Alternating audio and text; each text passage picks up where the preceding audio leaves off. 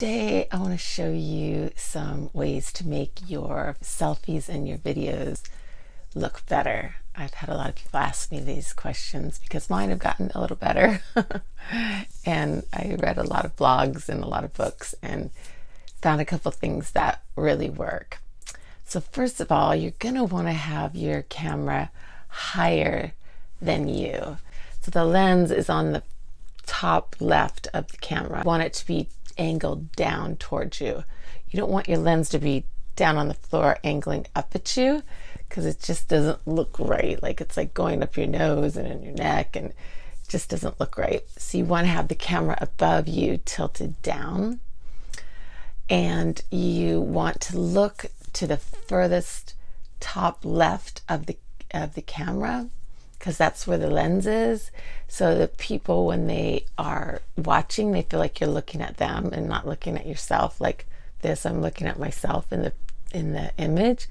But if I'm looking here, then I'm looking at you.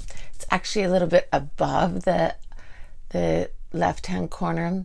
Picture getting ready to do the video. You tap the screen and a little yellow box will come up and then you just push up on there it's like an arrow that makes the light go up and the the brighter lighter it is for some reason the better you look.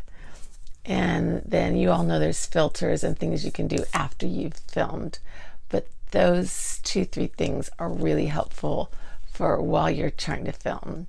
You just don't want the camera to be below you looking up at you. You want it to be above you looking down on you and you want to look up to the furthest left hand corner, a little bit above the corner of the camera. You want to click on that on the screen right before you start the video and move the little arrow up and it'll make it brighter and you'll look a lot better.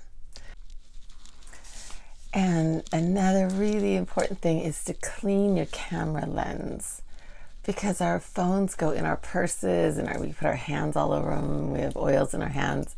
So the lenses get dirty and that'll make your picture not look as good or your video not look as good. The scarf that I have, and this is like a, a jacket that I have, and these are pillows that were on my bed. It just looks prettier. You want to create some sort of ambiance that people want to look at because it's a visual medium.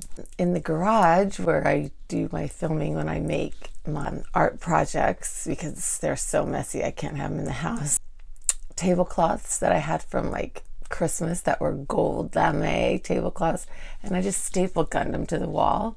And so that's my gold backdrop that you see when you see my other videos. So you can get creative. You probably have some fabric, you know, tablecloth or something that you can tack up with staple gum. And the other thing is if you're in a closet, what's nice is it's quiet and so you won't have all this background noise or you can get a microphone. This is like $9 on Amazon, just a little clip on microphone, and it does make it sound a lot better.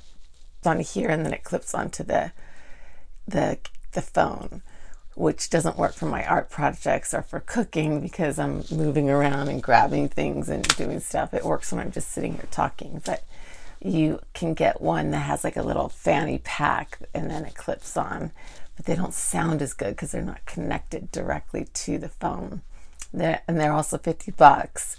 But from there, it jumps up to like $300 to ones that sound really good. And so I haven't quite explored those yet. but um, this is really easy. Or get in the closet and film if you can. Clean the, the lens of your camera. Try to make it look pretty in the background. That's it for now. Thanks for watching.